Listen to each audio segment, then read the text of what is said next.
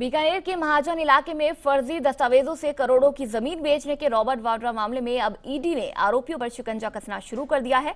ED ने इस मामले में मुख्य आरोपी जयप्रकाश बांगड़वा की राजमार्ग 15 पर लालेरा बस स्टैंड के पास 18 बीघा कृषि भूमि को जब्त करने की कार्रवाई की, जिसकी अनुमानित कीमत करीब एक करोड़ मानी जा रही है। ये संपत्ति बांगड़वा की पत्नी राजू देवी के नाम दर्ज है। इससे पहले बता दें, अर्जनसर में बांगड़वा के भूखंड जब्त हुए हैं।